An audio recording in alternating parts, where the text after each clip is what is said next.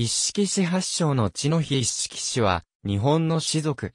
姓は源氏吉国流で、足利氏の一門。足利康氏の小一式更新は、三河国吉良小一色を本願とし、一式氏を名乗った。室町幕府海府当初は、九州短大として、筑前国にあったが、後には、侍所諸子に任ぜられる知識の筆頭となり、また、若狭国、三河国、丹後国などの守護職を世襲した。戦国時代にも、丹後の大名として続いたが、安土桃山時代に至り細川藤高、忠興らの侵攻によって滅亡した。他に、美濃国の戦国大名斎藤義達が、一式氏を称する。姓は源氏より密流。時来ますの洋孫である、時成より三代孫である、時来への子孫が、一式氏を称する。足利氏支流。吉良遊戯の子孫が、一式氏を称する。足利氏支流。吉良忠志県の子孫が、一式氏を称する。藤原北家両門流の果汁寺流。犬犬上杉や、上杉貞藤の孫である、上杉頼朝の子孫が、一式氏を称する。菅原氏流。唐橋有之の子である在主の子孫が、一式氏を称する。始祖一式更新とその子、来光は御家人として、鎌倉幕府に仕える。建武三年、来光と異母帝の利氏は、建武の神聖から離反した足利高氏の九州落ちに従い、高氏が、たたら浜の戦いで南朝方に勝利して登場した後も、九州計略のために止められた。延元2年、犬塚源の戦いで南朝方の阿蘇小レズミと、菊池武重に大敗し、来光は討ち死にした。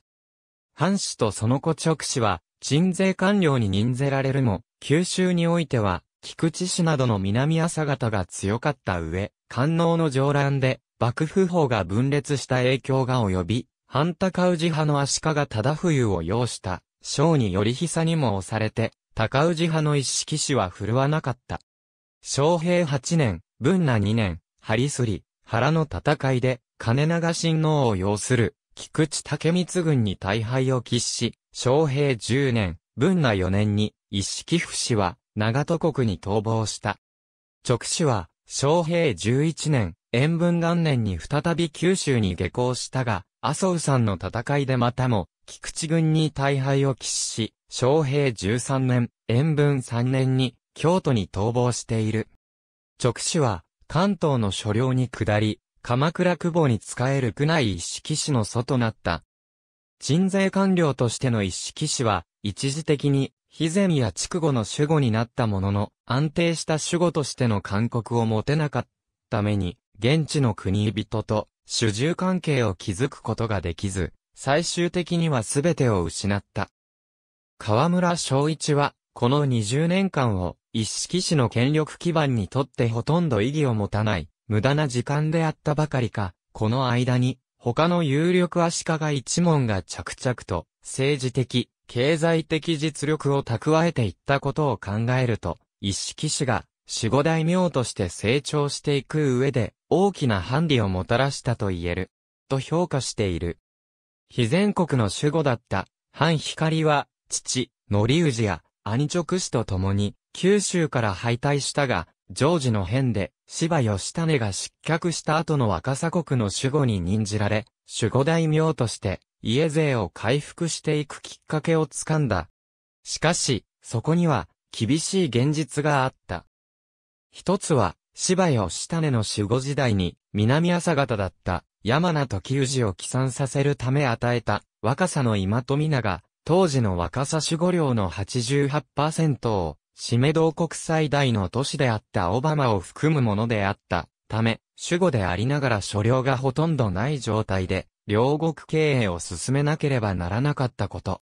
もう一つは、室町幕府成立後一式士の任命まで守護が延べ16人に、及び平均在任は1年10ヶ月という状況であったため、国人たちは守護に従わずに反抗的な行動をとっていたことで、ある。これに対して、反光は、元幕臣の小笠原長房を守護代として派遣し、大安の国人一揆と呼ばれる反乱を鎮圧して、黒人勢力を排除した。さらに、この戦犯が、明徳の乱の先行で今と皆を回復したことで、ようやく、若狭支配は軌道に乗ることになった。反光は、若狭支配の展開と、並行して、三河国の守護にも任じられた。戦犯は、若狭三河に加え終わりの地た、海東二軍の守護に任じられ、明徳の乱の功績で、史式家として幕政に参与する重要な家の一つとなる。その息子である、万藩は、さらに、丹後国を与えられ、笠郡八田に守護所、その後輩にある、竹部山に、竹部山城を築いて、両国経営に努め最盛期を迎えた。父戦藩の没後、万藩は若さなどの父の両国も合わせて継承するが、丹後経過神と若狭経過神の対立などから、若狭国内で県政を振っていた、守護代小笠原氏を排除して、当主としての権威の確立に努めた。その後の一式氏は、万藩の三人の息子の家に分かれていく。長男持ち藩は着流であったが、三河、異性と退いた。次男義則は、総領の地位を譲り受けた。三、男持ち神ははじめ時系、義則の大官の地位に甘んじたが、後に幕臣として故郷親ともども六大将軍、足利義則に徴用された。持ち藩のこの時代に、一式氏はさらに枝分かれし、一式式部小遊家と、一式右馬頭家が起こった。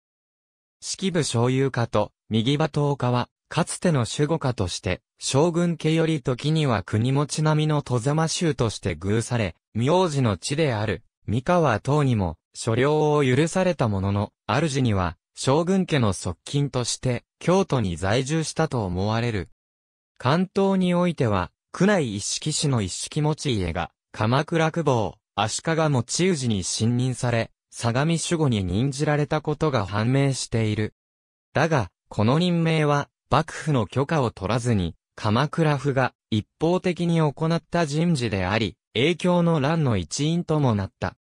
吉則は、宿老の一人として幕政に参与していたが、将軍、足利義則の代になると、次第に義則と対立し、影響12年、影響の乱で幕府に敗れた鎌倉久保を持ち氏の残党をかくまった罪で追悼を受け、大和国重山で自害した。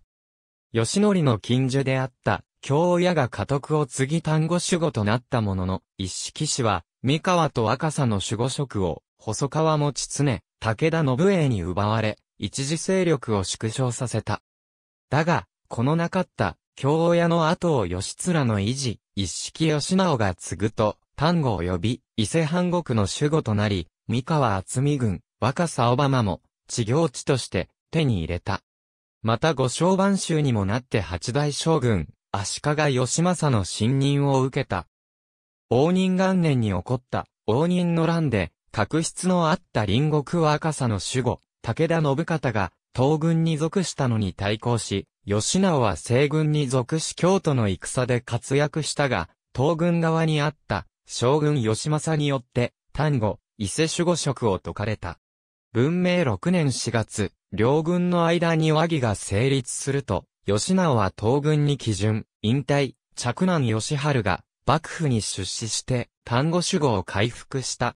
義春は、文明16年に19歳で没し、丹後守護職は吉直に再度与えられた。明王2年に、丹後で起きた反乱は鎮圧したものの、その後も国衆の反乱が相次ぐ。文明16年に、義春が19歳で亡くなり、継承した弟の義秀は明王7年に、国衆に攻められ自害した。その後の一式氏の系譜は、はっきりしない。自害した義秀には、男児がなく、一説によると、文家の一式義縁の着男義勇が家督を継承したとされる。応仁の乱以来、敵対関係にあった官僚細川氏の政略で、単語守護の名目が若狭武田氏に奪われ、一式家の求心力は落ち、国人の離反を招いていた。単語に侵攻してきた細川、武田連合軍に辛くも勝利した義勇は、幕府に出資しなくなった。それまでの一式氏は、幕府の宿老で在京が普通であったが、義勇が拠点を、与謝国今熊野城に移し、以後は、本格的に単語に本拠を構えた。この判断の結果、両国統治が確実になり、府中の町は大変栄えた。義勇の後は、一式の力与が継承したとも言うが、続き柄や経緯はよくわからない。乗清は、京都の室町幕府にも出資し、将軍家からも認められたが、志士がなく、一式試着流は絶えた。単語守護の座をめぐり若さ武田氏との構想が、激しさを増す一方、国内においては、反乱、下克上が続発し、一式氏の勢力はさらに衰退していた。中軍、竹野軍、熊野軍、与謝軍は、かろうじて名目上一式氏により収められていたが、若さと境を接する笠軍は、若さ武田氏の勢力下に置かれ、若さ武田氏の武将である白石などの居城も、築城された。そんな混乱の中で、一式氏一門諸家のうちから一式義行が宗家を継承した。義行は、若さ武田家の勢力を若さへ押し返し、笠軍の八田守護将及び竹部山次郎を奪還し、一式氏を中行した武将である。守護代、縁久志氏との仲も、良好に保ち、若さ武田家家臣である逸見氏が丹後に亡命した際には、これを保護し領地を与え家臣に加えた。義行の子、義道の時代には、織田信長の命令を受けた、明智光秀、細川藤高の侵攻にあって、拠点を笠郡中山城に移す。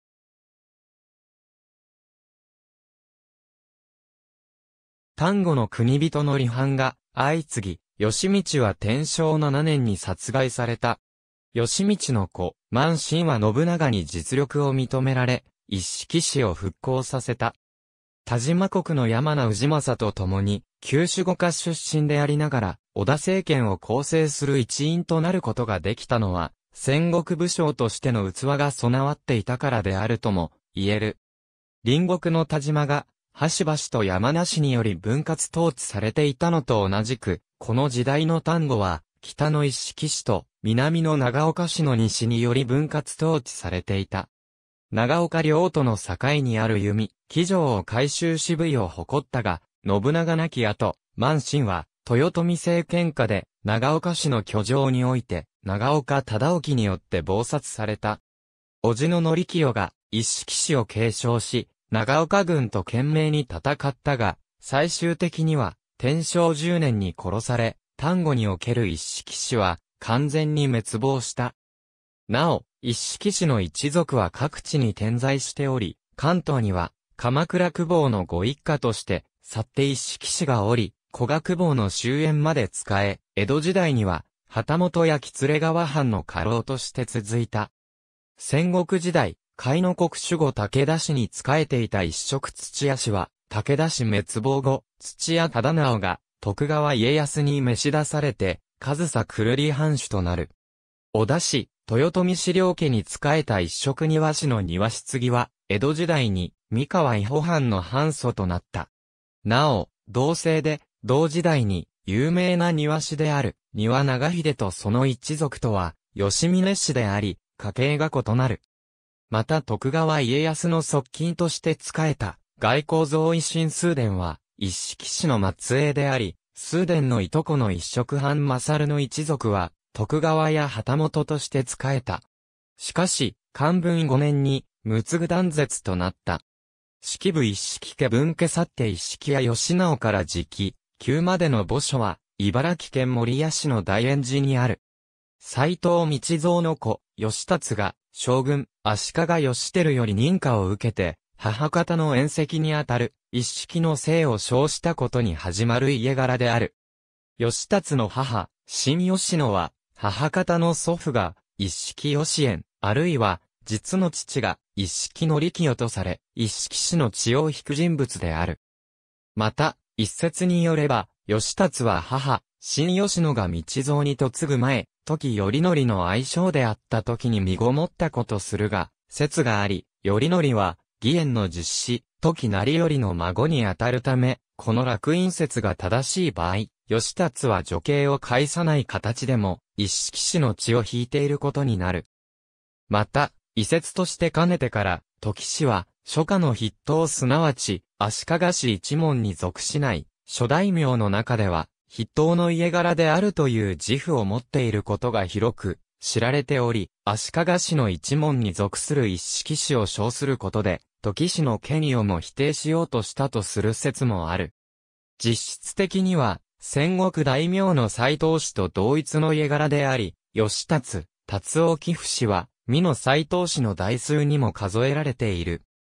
また、達夫については、美の追放後に同盟関係にあった、本願寺県女より、一式事部、大輔と称した達置に宛てた書状の存在が確認されるなど、達置を指して、一式と称した書状などの資料が複数現存しており、達置を斎藤氏と称するのは、織田信長ら敵対する陣営による故障である。